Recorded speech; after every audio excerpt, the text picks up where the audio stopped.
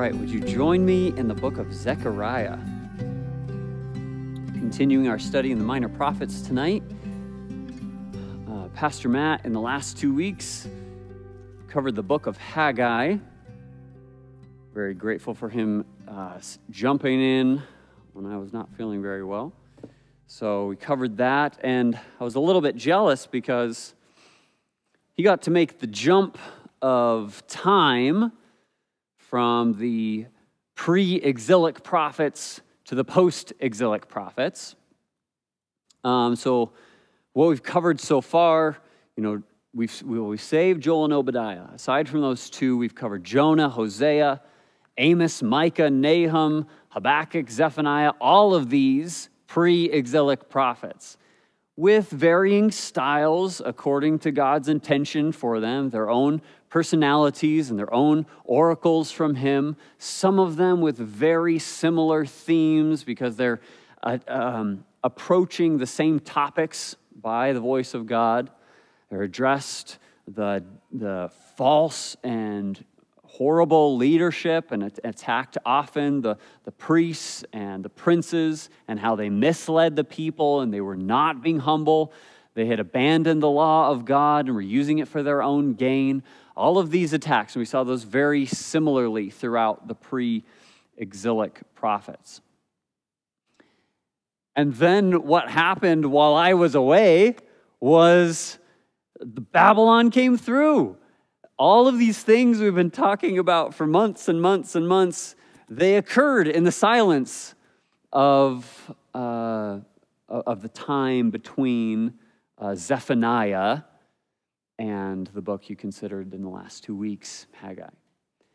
So the destruction that had been so long predicted, for centuries predicted, it finally arrived at the hand of Babylon, a terrifying reality for Judah. Uh, and it was a fulfillment of these prophecies that we've looked at. And we've also considered that it was a pattern of the way that the prophets would be fulfilled in the day of the Lord. This is how God sovereignly uses instruments for his righteousness. It's how he sovereignly opposes sin and evil. And it's in anticipation, even, of what he will do. I think you talked a few weeks ago about the fact of some of these historical points that the Babylonian captivity, the capturing of Judah, did not occur all at once. It occurred in phases. Uh, there was initial, um, maybe moderate, and then final captivity for Judah. So that began in 605 with Nebuchadnezzar, and this is where we would enter uh, Daniel being taken into captivity, where the, the first and the finest of Judah were taken by the king. And then about um, eight years later, you have uh, a puppet king that Nebuchadnezzar had uh, set in place in Judah. He's taken captive, and Ezekiel's taken captive at the same time. And then um, nine years after that, now the temple is destroyed and the city is essentially demolished. Most of the Jews are taken into exile at this point. The remaining people are, are very few, and there's no, nothing really that's discernible as a government or, or a people that is left. So, in these three phases, the Babylonian captivity occurred. Now, we have not examined in this study the major prophets. But in the final major prophet before the Babylonians came through, which was Jeremiah, I think probably Pastor Matt mentioned this as well a few weeks ago. But in Jeremiah chapter 25, he explicitly prophesies even the length of time that they will be in captivity in Babylon. It's these 70 years. Um, and so this was explicitly predicted and came to pass. So, over uh, you know, in 70 years' time, the Persians came through and they attacked the Babylonians. He overthrows the, the proto Babylonian Empire and he decrees that Jews can begin returning. Now, that the return takes place in phases as well. Um, much like the, the exile took place in phases. So the book of Haggai was really the first prophet upon the return. Now, they've already been back for a while, and he was addressing some of their misplaced priorities and encouraging them not to reiterate the pattern of their, of their fathers. And what we learn in the book of Ezra is that Haggai had a companion prophet, and his name is Zechariah. And so you looked, uh, Haggai's a pretty short book and took place over a short period of time. You notice all these um, time markers that were mentioned in uh, Haggai, the second year of, of King Darius, the sixth month, the first day of the month, all the way to the final um, marker being the 24th day of the month, which was the ninth month. Uh, from that day, the foundation of the Lord's temple was laid. And so it was all this was taking place from Haggai's perspective in the second year of King Darius, from the sixth month to the ninth month. So, in three months' time. Now, during that time, if you'll notice Zechariah 1 1, his prophecies begin in the eighth month of the second year of Darius. So it is concurrent with Haggai. His first prophecy comes in the middle of Haggai's short window of prophecies. So these are really not biological, but these are brother prophets who are prophesying with specific messages to the same group of people uh, in the same time period. Uh, so that's uh, who it is. In, in, that regard, much of the background work has already been laid because the same background work for Haggai is the background work for Zechariah. Their personalities seem to be a little bit different. Some of their function seems to be a little bit different. Their style certainly is. The way that God uh, uses them as prophets is, is a little bit unique. So, really, the question that we're faced here, and what, uh, what I encourage you to consider historically as we try to place ourselves in this moment, is that this is a time in Israel and Judah's history of tremendous excitement in that they're back home, they're back in their place, but it's also, it, it's confusion might not be quite the right word, but maybe wondering what's next? What do we do now that we're here and okay, so we're building, we're sort of getting these things moving again. But what do we do as it, as it concerns prophecy? What do we do as it concerns the word of the Lord? What do we do uh, as it concerns this kingdom? Is this kingdom that was prophesied, this whole day of the Lord that even Zephaniah talked about right before the exile? We have that. What is that now? Are we in that time period? And that's one of the things that Zechariah um, does is the, the voice of God is present again with his people in their excitement slash maybe emptiness, just sort of the, the where do we go now. And as a New Testament assembly, I think one other thing that's helpful for us as we consider Zechariah is that Zechariah, Haggai, Zechariah, and then Malachi, these are the final words before Jesus. These are the final words before the apostles and the final words before the gospels and the epistles. And so these things were very present on the minds of the people to whom Jesus appeared among whom Jesus walked. That Haggai, Zechariah, and Malachi, these are the, this is the, the next phase. It's kind of what they have to, to go off of in their recent history. Is that following with that idea? Um, and so as we approach Zechariah, you will see something that uh, lost is too strong of a word. It's not that we've lost this by any means, but would be um, valuable for us to recapture is that in the mind of the New Testament church, like we should be thinking in terms of Zechariah. We should be thinking in terms of Malachi and Haggai.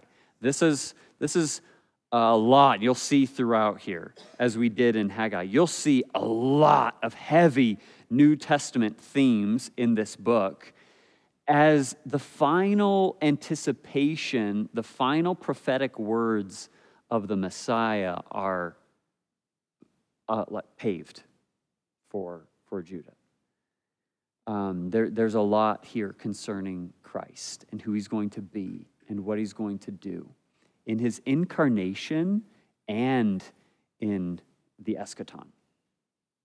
Okay. Um, a few of the distinctives, things we should be thinking as we think about Zechariah. It's, a, it's the, um, hmm, I didn't double check this. It's either the longest or close to the longest. It's certainly the longest post exilic prophet. He's 14 chapters long, so longer than most of them. Um, maybe the, the majorist minor prophet, right? If that's really the distinction between the two. Um, he uses, is, is just kind of go back to back a few different distinctives. He uses the title, the Lord of Hosts, 53 times. And that's, I think, about two thirds of the times that he uses the word Yahweh. So Yahweh is a very prominent theme. And his specific title, the Lord of Hosts, rises to preeminence in these, really in the post exilic prophets uh, Zechariah as an example of them. So just consider the comparison. Uh, the Lord of hosts was used one time in Hosea, one time in Micah, one time in Habakkuk, twice in Nahum, three times in Zephaniah, and the most of the pre exilic prophets, nine times in Amos, which was also one of the longer ones. Okay, so as many as nine times, or I didn't calculate those all together, but you know, less than 20 total. And now in this one prophet, 53 times. In Haggai from the last two weeks, 14 times in two chapters. Now we have 53 in 14 chapters. And then in Malachi, the final post exilic prophet, 24 times in four chapters. All right, so this is heavy, a very heavy dose of this title. Now, why, why would that be? Why is the Lord of hosts so significant in the post exilic prophets?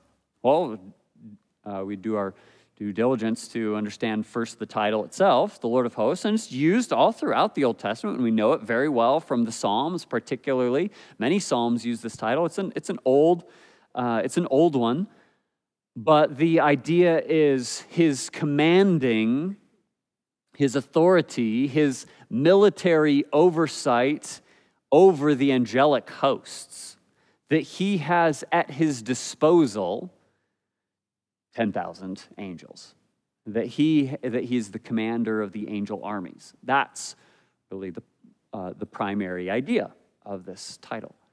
Why would that be significant?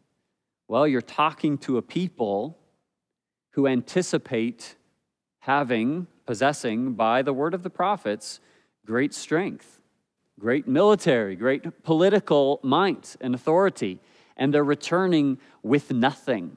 They're returning having been decimated. They're returning with a trowel and perhaps a sword. Like they, they don't have much. They're certainly not, not trained militaristically. They don't, they're appointing a governor, they're appointing a high, a high priest. They're, they're starting from scratch. And so the idea that you would have Yahweh the commander of all military might, all strength and power to be able to cause that which he has promised is a point of great hope to a people uh, weakened, perhaps you might even say the weakest of all the nations in this moment, very vulnerable. So that's one of the distinctives in the post-exilic prophets is the title, the Lord of Hosts. In Zechariah particularly, um, we have very dramatic visions. I haven't seen this for a little while in the prophets, but we'll see as we walk through the structure. There's a section where there are eight visions at close to the beginning of the book. And they're all like, I mean, not like our dreams and our dreams are inspired, but they're like our dreams in that they are weird. They're odd. They have all sorts of apparently random things happening, unusual images and dramatic poetic language that is uh, common in prophecies, common in visions and, and oracles. But is one of the most dramatic representations of it, certainly in the Minor Prophets. There's a unique emphasis in Zechariah on the high priest. The same one, even as named in Haggai, a particular emphasis on Joshua, the high priest. So, not Joshua, the one that led, our most common Joshua, but Joshua, the high priest, that was named next to Zerubbabel in Haggai. So Zerubbabel is the governor, and in Haggai, he has the signet ring, he has royal authority. And in Zechariah, you'll see as we walk through that Joshua, the high priest, is crowned. A little bit odd, but an emphasis on the royal priest we find in Zechariah. Um, then, in the second part of the book, after the visions and um, the quite vivid visions there, you have um, a repetition of themes, themes concerning the Messiah, really, that he is going to arrive, um, some snapshots of, of his offices and roles, that he's um, a shepherd, that he is pierced, that he uh, rides on a donkey. That's found here. So, so his um, arrival as an authority and some of the qualities of his authority. The purity and finality, the final purity, purging that he's going to bring by means of uh, a violent battle. So, this future judgment of the enemies of Israel you can understand at this vulnerable point in their post exilic state that they might be left a little bit scratching their heads, saying, okay, so we were delivered. That's wonderful. And Babylon was destroyed, but now Persia's in control. Really, the enemies of God, the powerful enemies, haven't been abolished. So is that now? Is that happening? So that these, these words of, of future final judgment of the enemies of Judah is stated. And that means then future and final deliverance for Judah. So all, all sort of four of those themes we'll see um, very uh, brilliantly displayed, um, cyclically displayed, kind of, kind of like this, the second half of Zechariah is easy to put into its component parts, but not always easy to see how those component parts relate.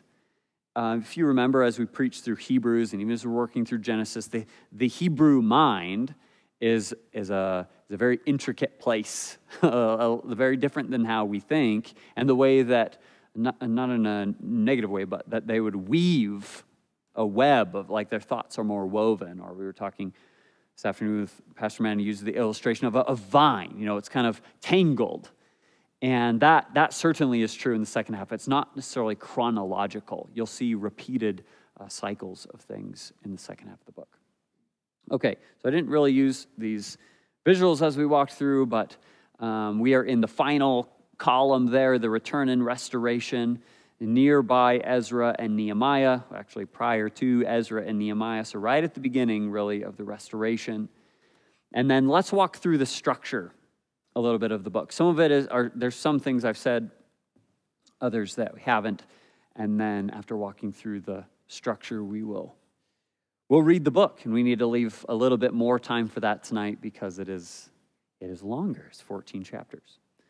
So we begin in the first six verses with the introduction. And the introduction is really a, a call to repentance. The phrase is, that we would know as return to me is what Yahweh calls for from the people. He compares their previous walk with, or, or so the pre, he, he looks to the past. He says, Don't be like your fathers um, sort of like Haggai saying, don't settle the city with misplaced priorities. Establish the city on truth this time around. And so don't be like them whom the former prophets preached to. Um, instead, be willing to, to hear me. And it says, So they returned and said, Just as the Lord of hosts determined to do to us according to our ways and according to our deeds, so he has dealt with us. And so there, there seems to be a, a proper response here. Is that's the, the introduction. And then he jumps right in um, to these visions that he sees by night. There's eight of them. A vision of a man on a red horse with other horses surrounding him. You'll see New Testament themes picked up, and Revelation is one of the main places that Zechariah's images are picked up. So, uh, a man on a horse. Um, and the intention of that vision is that there is coming vengeance, despite what is presently a peaceful time. Um, a vision of horns, four horns, and then craftsmen, promising that the, those who are afflictors will be dealt with, will be demolished in the end. There's a vision of a surveyor, someone who comes with a plumb line to Jerusalem, and Jerusalem is, is measured, and there will be prosperity um, for God's people. There's the high priest. Now, that one should sort of spark our attentions. We've talked about that as a theme. Uh, and the intention of this vision is to describe the cleansing of the nation. And Joshua is, is the, the one that's used here in the image, the vision. Uh, then there's a golden lampstand and two olive trees. And these are intended to communicate the, the, the power that is available through God's Spirit. There's a flying scroll, a vision of a flying scroll, um, which is a curse on lawbreakers. There's a woman in a basket, which is the removal of wickedness. And then there's four chariots as we go through, we'll, we'll look a little bit at the interconnectedness of even these uh, visions to one another. There's eight very vivid visions in the first six chapters. Then chapter six concludes um, with an oracle about the high priest. Uh, the word of the Lord comes to Zechariah, and they fashion a crown they make an elaborate crown, and they set it on the head of Joshua, um, the son of Jehozadak, the high priest. So the same one that was found in Haggai. And uh, I believe that the, that the intention of this is to communicate that the future king is a, is a royal priestly king. But there's, there's that almost as a standalone oracle. And then in chapter 7 and 8, Probably the best way to think of it is wrapping up what, ha- what was and moving towards what will be within the prophet Zechariah. And he talks a lot about Jerusalem and what Jerusalem once was compared to what Jerusalem is right now, compared to what Jerusalem will be in the future. And he really, this middle part is where he's addressing some of the questions of where do we go from here? Because we know where we were, we know where we are, and we know what is going to be promised. And he sort of brings those things together in chapters 7 and 8 uh, in relationship to the city, Jerusalem, the holy city of the future, this place, the, the city of Zion. Okay?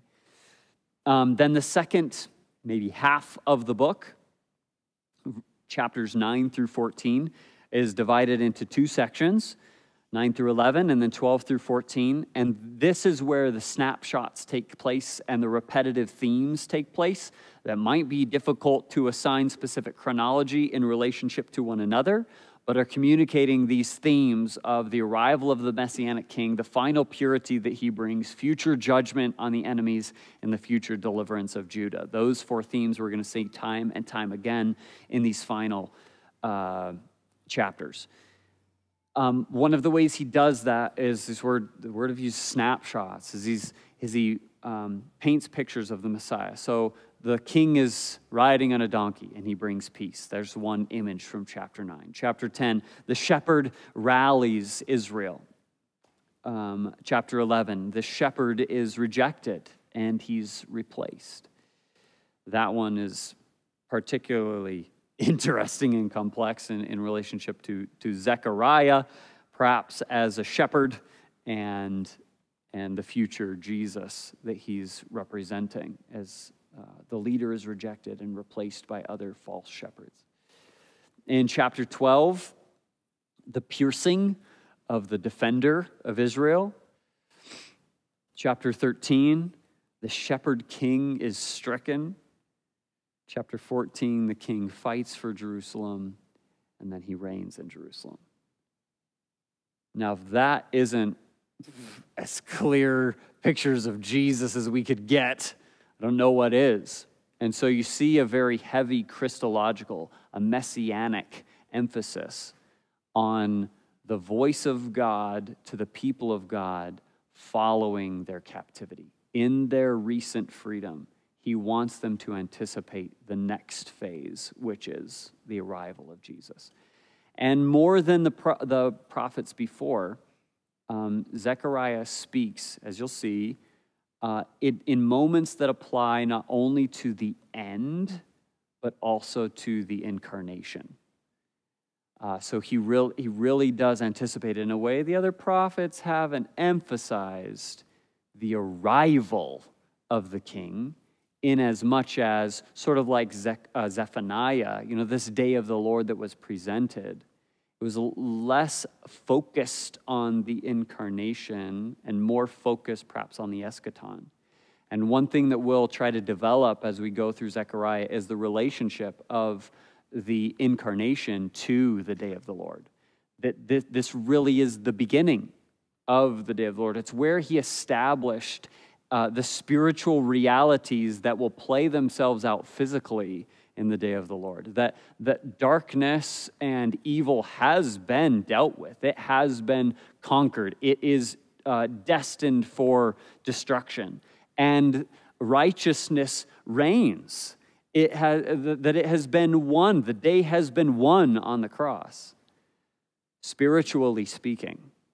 And yet, then we move right from there into the New Testament where Jesus physically leaves we're left in that first and second Peter sort of exile state. Like, why is that? Because the physical day of the Lord, perhaps, uh, the, the actual measuring out of the judgment in time and space has yet to take place, where, our, where that which we believe is going to be visual. It will be, our faith will be made sight. Okay? Um, okay, so with all of these things in mind, I think it'll take about 20 minutes uh, to read through the book. So I turn your attention to Zechariah 1 1, and we're going to hear from the Lord in the book of Zechariah and have a few concluding thoughts.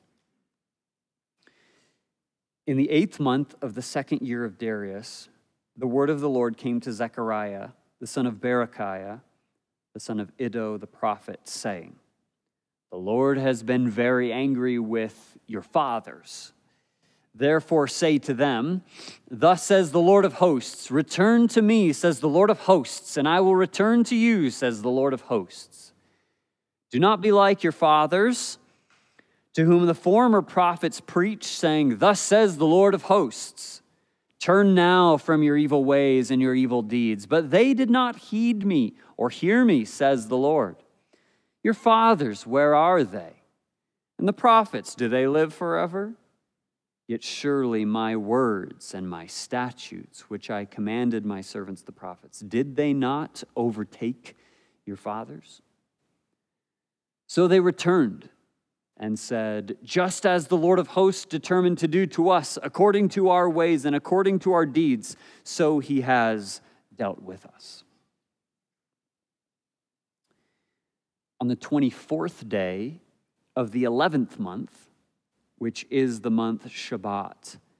In the second year of Darius, the word of the Lord came to Zechariah, the son of Berechiah, the son of Iddo, the prophet. I saw by night, and behold, a man riding on a red horse, and it stood among the myrtle trees in the hollow. And behind him were horses, red, sorrel, and white. Then I said, My Lord, what are these? So the angel who talked with me eh, said to me, I will show you what they are. And the man who stood among the myrtle trees answered and said, These are the ones whom the Lord has sent to walk to and fro throughout the earth. So they answered the angel of the Lord who stood among the myrtle trees and said, We have walked to and fro throughout the earth, and behold, all the earth is resting quietly. It's the present peace. And the angel of the Lord answered and said, O Lord of hosts, how long will you not have mercy on Jerusalem and on the cities of Judah, against which you were angry these 70 years? And the Lord answered the angel who talked to me with good and comforting words. So the angel who spoke with me said to me, Proclaim, saying, Thus says the Lord of hosts I am zealous for Jerusalem and for Zion with great zeal. I am exceedingly angry with the nations at ease. For I was a little angry, and they helped, but with evil intent. Therefore, thus says the Lord I am returning to Jerusalem with mercy. My house shall be built in it, says the Lord of hosts. And a surveyor's line shall be stretched out over Jerusalem. Remember that one for the future. Again proclaim, saying, Thus says the Lord of hosts, My cities shall again spread out through prosperity. The Lord will again comfort Zion and will again choose Jerusalem. Vision number two. Then I raised my eyes and looked, and there were four horns. And I said to the angel who talked with me, What are these? So he answered me, These are the horns that have scattered Judah Israel and Jerusalem. Then the Lord showed me four craftsmen, and I said, What are these coming to do? So he said, These are the horns that scattered Judah, so that no one could lift up its head. But the craftsmen are coming to terrify them, to cast out the horns of the nations that lifted up their horn against the land of Judah, to scatter it. Vision number three. Then I raised my eyes and looked, and behold, a man with a measuring line in his hand. So I said, Where are you going? And he said to me, To measure Jerusalem, to see what is its width and what is its length. And there was the angel who talked with me going out, and another angel was coming out to meet him, who said to him, Run, speak to this young man, saying, Jerusalem shall be inhabited as towns without walls because of the multitude of men and livestock in it. For I, says the Lord, will be a wall of fire all around her, and I will be the glory in her midst. Up, flee from the land of the north, says the Lord, for I have spread you abroad like the four winds of heaven, says the Lord. Up, Zion, escape, you who dwell with the daughter of Babylon. For thus says the Lord of hosts He sent me after glory to the nations which plunder you, for he who touches you touches the apple of his eye. For surely I will shake my hand against them, and they shall become spoil for their servants. Then you will know that the Lord of hosts has sent me. Sing and rejoice, O daughter of Zion, for behold, I am coming, and I will dwell in your midst, says the Lord. Many nations shall be joined to the Lord in that day, and they shall become my people, and I will dwell in your midst. Then you will know that the Lord of hosts has sent me to you. And the Lord will take possession of Judah and as his inheritance in the Holy Land, and will again choose Jerusalem. Be silent, all flesh, before the Lord, for he is roused from his holy habitation. Vision number four. Then he showed me Joshua, the high priest, standing before the angel of the Lord, and Satan standing at his right hand to oppose, to accuse him. And the Lord said to Satan, The Lord rebuke you, Satan. The Lord who has chosen Jerusalem rebuke you. Is this not a brand plucked from the fire? Remember that image? Now Joshua was clothed with filthy garments, and he was standing before the angel. And he answered and spoke to those who stood before him, saying, Take away the filthy garments from him. And to him he said, See, I have removed your iniquity from you, and I will clothe you with rich robes. And I said, Let them put a clean turban on, on his head. So they put a clean turban on his head, and they put the clothes on him, and the angel of the Lord stood by. Then the Lord, the angel of the Lord admonished Joshua, saying, Thus says the Lord of hosts If you will walk in my ways, and if you will keep my command, then you shall also judge my house, and likewise have charge of my courts, and I will give you places to walk among these who stand here. Hear, O Joshua the high priest, you and your companions who sit before you, for they are a wondrous sign. For behold, I am bringing forth my servant, the branch for behold, the stone that I have laid before Joshua, upon the stone are seven eyes. Behold, I will engrave its inscription, says the Lord of hosts, and I will remove the iniquity of the land in one day. In that day, says the Lord of hosts, everyone will invite his neighbor under his vine and under his fig tree. Vision number five. Now the angel who talked with me came back and wakened me as a man who was wakened out of his sleep, and he said to me, What do you see? So I said, I'm looking, and there's a lampstand of solid gold with a bowl on top of it, and on the stand, seven lamps with seven pipes to the seven lamps. And beside it, two olive trees, one at the right hand of the bowl and the other at its left. So I answered and spoke to the angel who talked with me, saying, What are these, my Lord? The angel who talked with me answered and said to me, Do you not know what these are? I said, No, my Lord. So he answered and said to me, This is the word of the Lord to Zerubbabel. Not by, my, not by might nor by power, but by my spirit, says the Lord of hosts. Who are you, O great mountain? Before Zerubbabel you shall become a plain and he shall bring forth the capstone with shouts of grace, grace to it. Moreover, the word of the Lord came to me, saying, The hands of Zerubbabel have laid the foundation of this temple, his hands shall also finish it. Then you will know that the Lord of hosts has sent me to you. For who has despised the day of small things? For these seven rejoice to see the plumb line in the hand of Zerubbabel. They are the eyes of the Lord which scan to and fro throughout the whole earth. Then I answered and said to him, What are these two olive trees? At the right of the lampstand and at its left. And I further answered and said to him, What are these two olive branches that drip into the receptacles of the two gold pipes from which the golden oil drains? Then he answered me and said, Do you not know what these are? And I said, No, my Lord. So he said, These are the two anointed ones who stand beside the Lord of the whole earth. Vision number six. Then I turned and raised my eyes and saw there a flying scroll. And he answered to me, or he, and he said to me, What do you see? So I answered, I see a flying scroll. its length is 20 cubits and its width 10 cubits. Then he said to me, That is the curse that goes out over the face of the whole earth. Every thief shall be expelled according to this side of the scroll, and every perjurer shall be expelled according to that side of the scroll. I will send out the curse, says the Lord of hosts. It shall enter the house of the thief, and the house of the one who swears falsely by my name. It shall remain in the midst of his house, and consume it with its timber and stones. Vision number seven.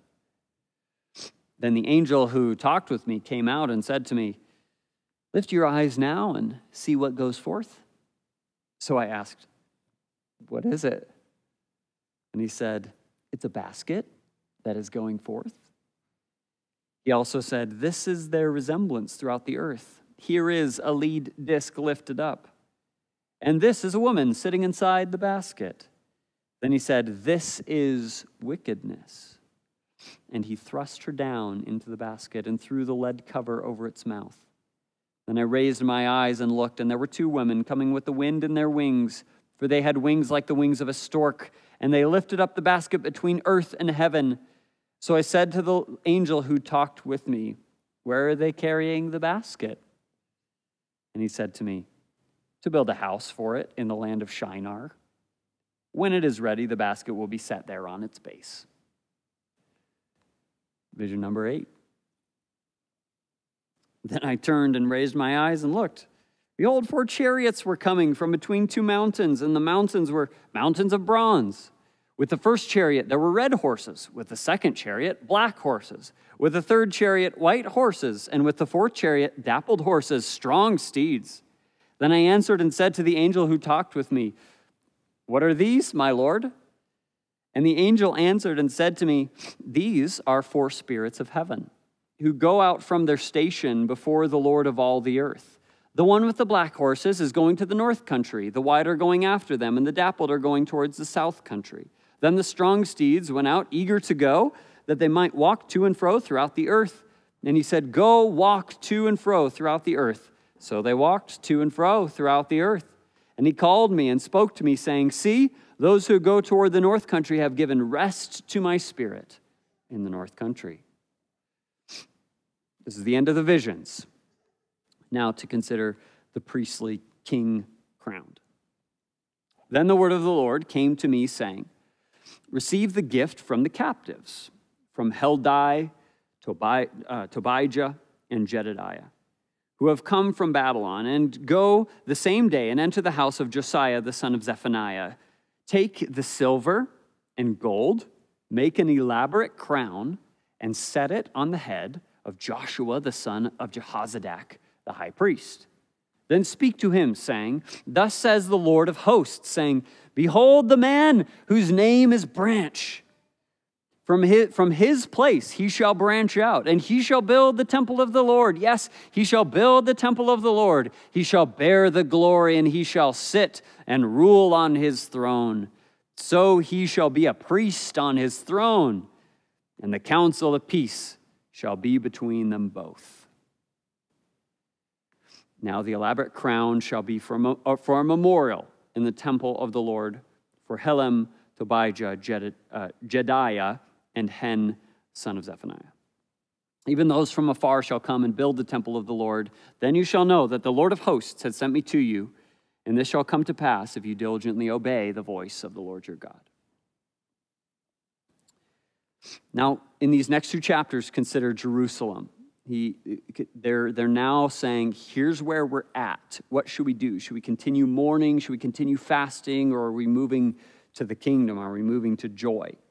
This is now in the fourth year of King Darius. This is two years later. Came to pass that the word of the Lord came to Zechariah on the fourth day of the ninth month, Chislev. When the people sent Sherezer with Regem-melech and his men to the house of God to pray before the Lord and to ask the priests who were in the house of the Lord of hosts and the prophets, saying, Here's the question Should I weep in the fifth month?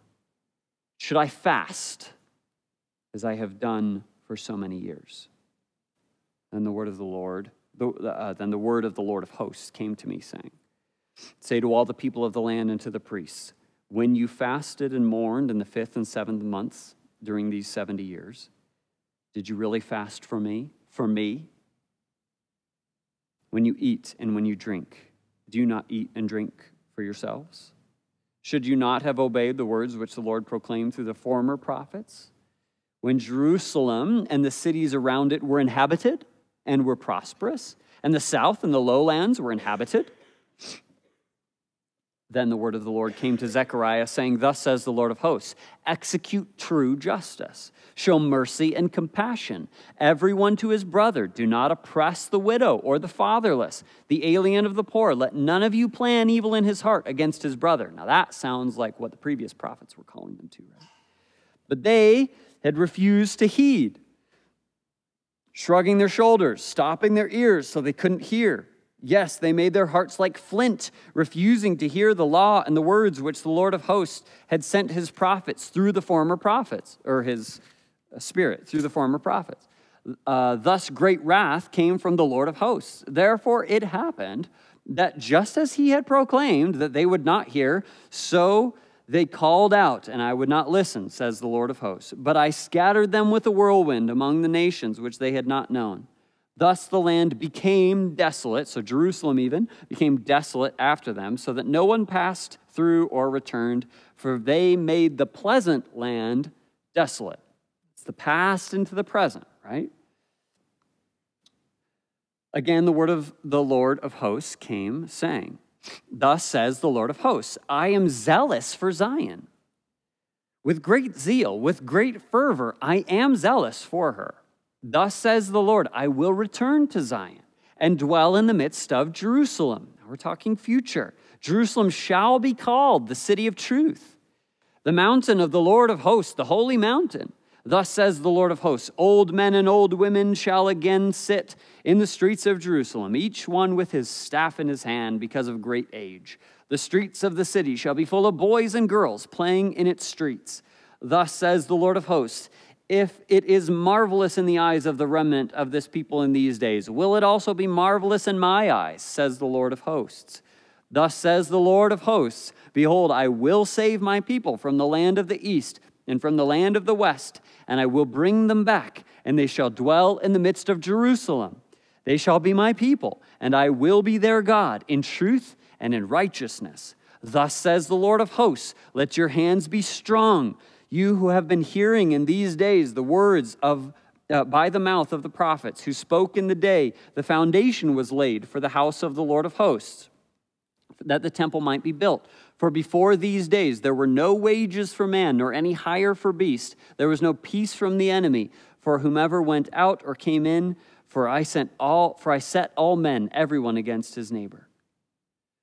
But now I will not treat the remnant of this people as in the former days, says the Lord of hosts. For the seed shall be prosperous, and the vine shall give its fruit. The ground shall give her increase and the heavens shall give their due. I will cause the remnant of this people to possess all these. And it shall come to pass that just as you were a curse among the nations, O house of Judah and house of Israel, so I will save you, and you shall be a blessing. That sounds like an old promise, too, doesn't it?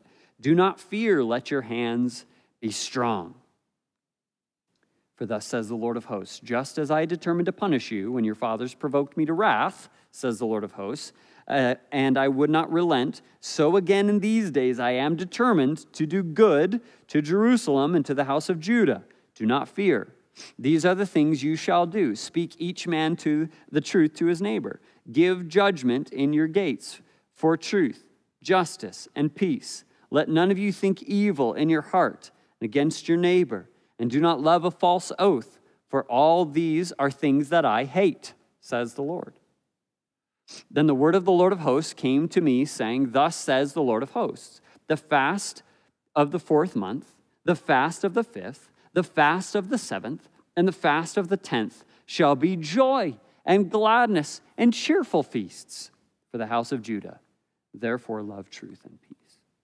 Thus says the Lord of hosts Peoples shall yet come, inhabitants of many cities. The inhabitants of one city shall go to another, saying, Let us continue to go and pray before the Lord and seek the Lord of hosts. I myself will go also. Yes, many peoples and strong nations shall come to the Lord of hosts in Jerusalem and to pray before the Lord. Thus, thus says the Lord of hosts, in those days, ten men from every language of the nation shall grasp the sleeve of a Jewish man, saying, Let us go with you, for we have heard that God is with you.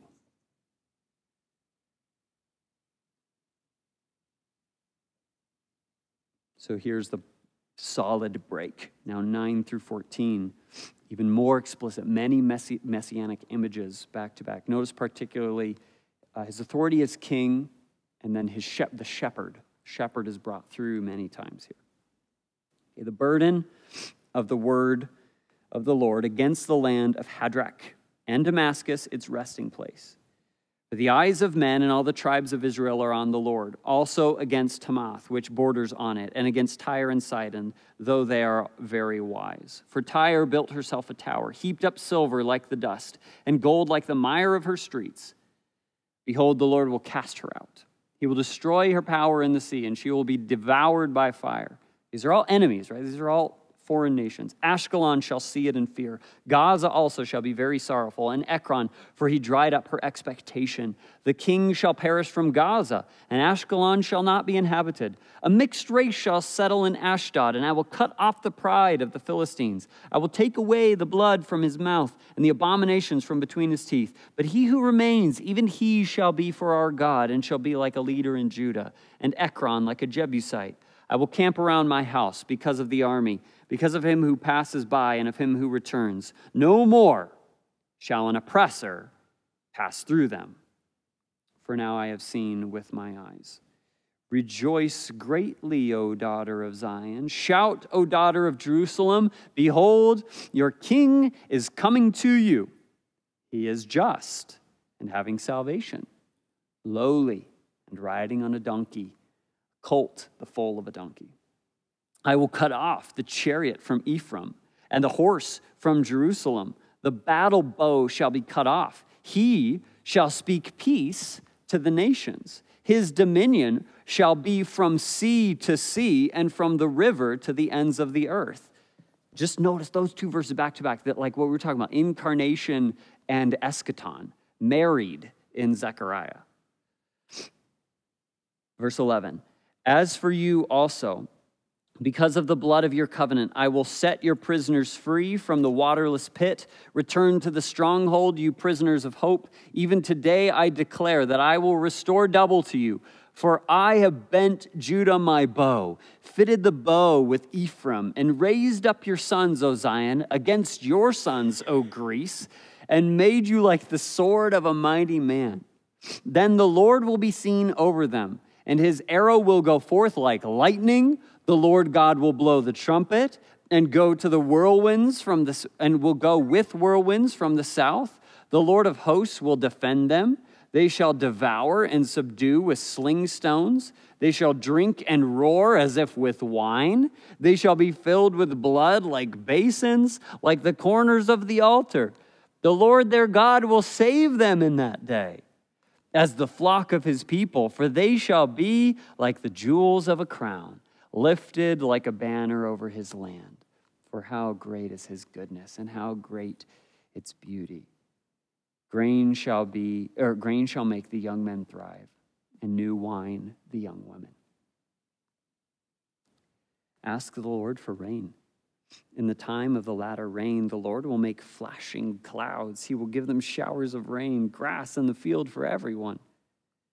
For the idols, here's purity, for the idols speak delusion.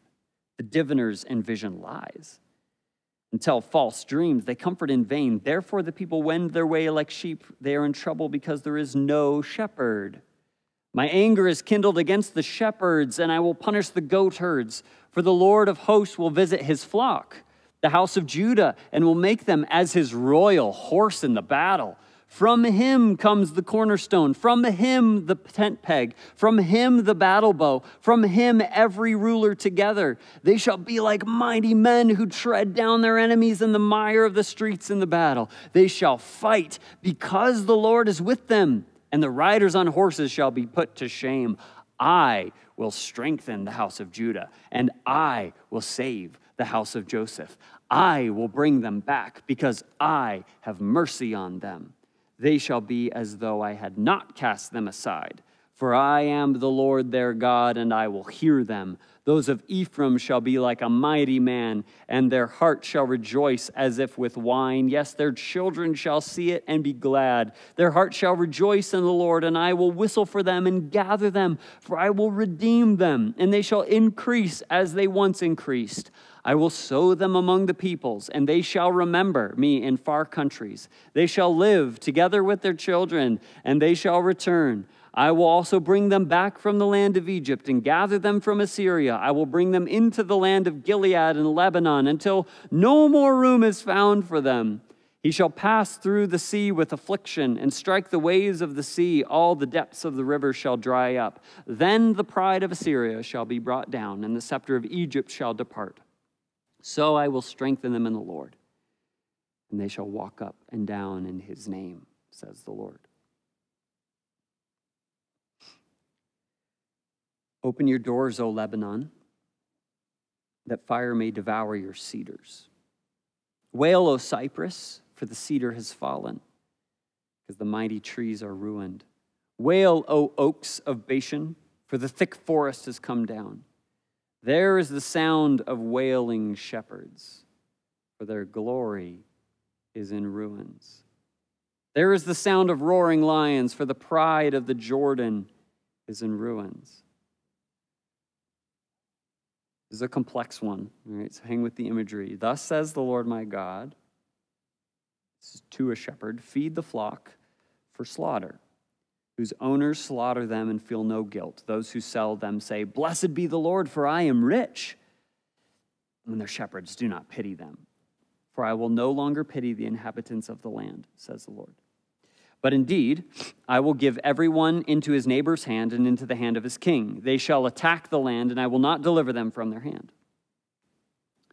So I, I did. So I fed the flock for slaughter in particular the poor of the flock. I took for myself two staffs, the one I called beauty, and the other I called bonds, and I fed the flock. I dismissed the three shepherds in one month. My soul loathed them, and their soul also, also abhorred me. Then I said, I will not feed you. Let what is dying die, and what is perishing perish. Let those that are left eat each other's flesh. And I took my staff beauty and cut it in two that I might break the covenant which I had made with all the peoples. So it was broken on that day. Thus the poor of the flock who were watching me knew that it was the word of the Lord. Then I said to them, If it is agreeable to you, give me my wages. He's done, he's retiring. and if not, then refrain. So they weighed out for his wages 30 pieces of silver. And the Lord said to me concerning that silver, throw it to the potter. That princely price they set on me. So I took the 30 pieces of silver and threw them into the house of the Lord for the potter. Then I cut the other, or then I cut into my other staff, bonds, that I might break the brotherhood between Judah and Israel. And the Lord said to me, Next, Take for yourself the implements of a foolish shepherd. For indeed, I will raise up a shepherd in the land who will not care for those who are cut off, nor seek the young, nor heal those who are broken, nor feed those that, will st- that still stand.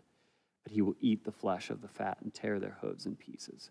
Woe to the worthless shepherd who leaves the flock. A sword shall be against his arm and against his right eye. His arm shall completely wither, and his right eye shall be totally blinded. Okay, the second part of the second half of the book, 12 through 14. Here's the pierced defender. The burden of the word of the Lord against Israel. Thus says the Lord, who stretches out the heavens, lays the foundation of the earth, and forms the spirit of man within him.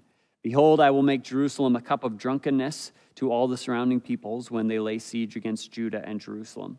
And it shall happen in that day that I will make Jerusalem a very heavy stone for all peoples all who would heave it away will surely be cut in pieces, though all nations of the earth are gathered against it. In that day, says the Lord, I will strike every horse with confusion, and its rider with madness. I will open my eyes on the house of Judah, and will strike every horse of the peoples with blindness. And the governors of Judah shall say in their heart, The inhabitants of Jerusalem are my strength in the Lord of hosts, their God. In that day I will make the governors of Judah like a fire pan in the woodpile and like a fiery torch in the sheaves. They shall devour all the surrounding peoples on the right hand and on the left. But Jerusalem shall be inhabited again in her own place, Jerusalem. The Lord will save the tents of Judah first, so that the glory of the house of David and the glory of the inhabitants of Jerusalem shall not become greater than that of Judah. In that day, the Lord will defend the inhabitants of Jerusalem. The one who is feeble among them in that day shall be like David and the house of David shall be like God, like the angel of the Lord before them. It shall be in that day that I will seek to destroy all the nations that come against Jerusalem. And I will pour on the house of David and on the inhabitants of Jerusalem the spirit of grace and supplication. Then they will look on me, whom they pierced. Yes, they will mourn for him as one mourns for his only son, and grieve for him as one grieves for a firstborn. In that day there shall be a great mourning in Jerusalem, like the mourning at Hadad Rimmon in the plain of Megiddo. And the land shall mourn, every family by itself, the family of the house of David by itself, and the wives by themselves, the family of the house of Nathan by itself, and their wives by themselves, the family of the house of Levi by itself, and their wives by themselves, the family of Shimei by itself, and their wives by themselves, all the families that remain, every family by itself, and their wives by themselves. In that day, a fountain shall be opened for the house of David and for the inhabitants of Jerusalem, for sin and for uncleanness. It shall be in that day, says the Lord of hosts, that I will cut off the names of the idols from the land, and they shall no longer be remembered. I will also cause the prophets and the unclean spirit to depart from the land. It shall come to pass that if anyone still prophesies, then his father and mother who begot him will say to him, You shall not live, because you have spoken lies in the name of the Lord. And his father and mother who begot him shall thrust him through when he falsely prophesies. In that day it shall be that every prophet will be ashamed of his vision when he prophesies. They will not wear a robe of coarse hair to deceive, for he will say, I am no prophet, I am a farmer. For a man taught me to keep cattle from my youth. And one will say to him, What are these wounds between your arms? And he will answer, Those with which I was wounded in the house of my friends. Awake, O sword, against my shepherd, against the man who is my companion, says the Lord of hosts. Strike the shepherd, and the sheep will be scattered. Then I will turn my hand against the little ones, and it shall come to pass in all the land, says the Lord, that two thirds in it shall be cut off and die, but one third shall be left in it. I will bring the one third through the fire, will refine them as silver is refined, and test them as gold is tested. Then they will call on my name, and I will answer them. I will say, This is my people. And each one will say, The Lord is my God final chapter and final image. This is uh, the day of the Lord, the king fighting for and reigning in Jerusalem. Behold, the day of the Lord is coming, and your spoil will be divided in your midst. For I will gather all the nations to battle against Jerusalem. The city shall be taken, the houses rifled, and the women ravished.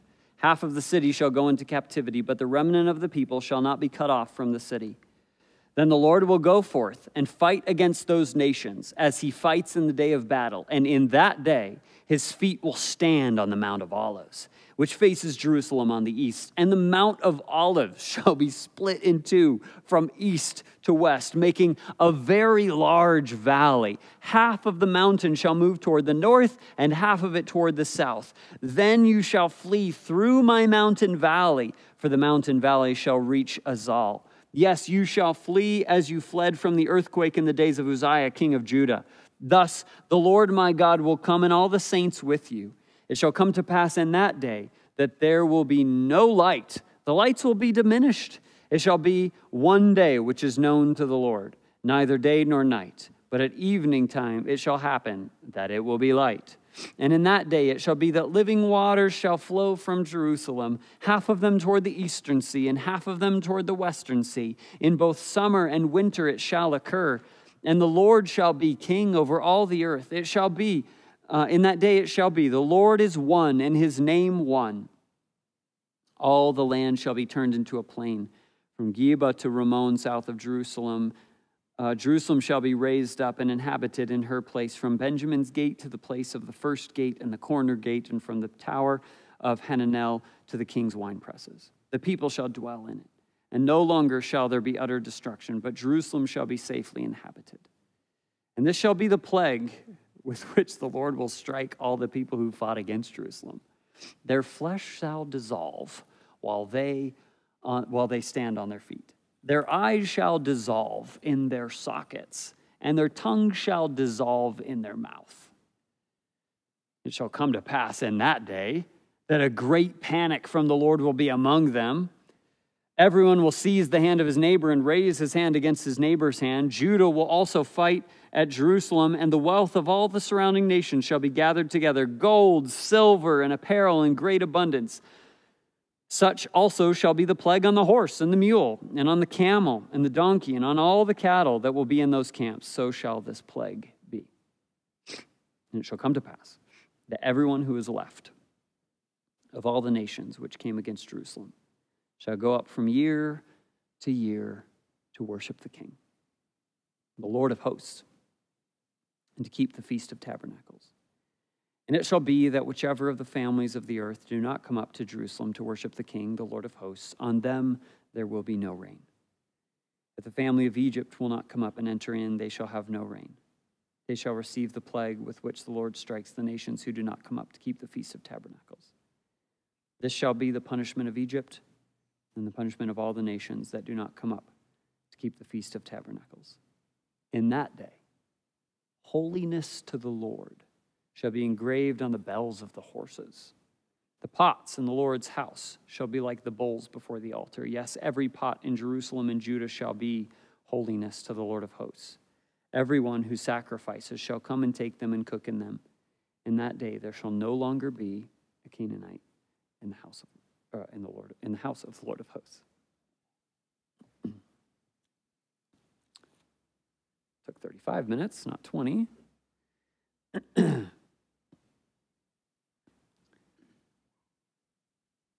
With the time, we probably should not have too much discussion.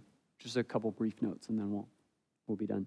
I find it quite encouraging in the middle of all those unique visions that Zechariah saying, What is that? what, what is that? What is that? So it would be normal for us to read them and to say, What is that? Uh, and the angel of the Lord gives explanation, so it'll look forward to hearing those things, but the images are intentionally bizarre, so that's helpful. And I think one of the main differences between the second and third portions of the book, where the people are wondering in seven and eight, is this the time? Is this now? Do we keep mourning? Do we keep these, uh, you know, fasting, these sorts of things? And he continues encouraging them with the same things that the prophets told the old people to do. He's telling them to live righteously because God's intention is that when there is a people that is fit for his presence, it's done. So he calls them to that. He says, Absolutely. Live righteously. There I am. And it's not really till the end of the book that you see he must curate that righteousness. He places it in the people, He creates them. And then and only then is there not a tongue uh, that, that speaks against him. Not only, it's only then that there is every tongue that says, the Lord is one.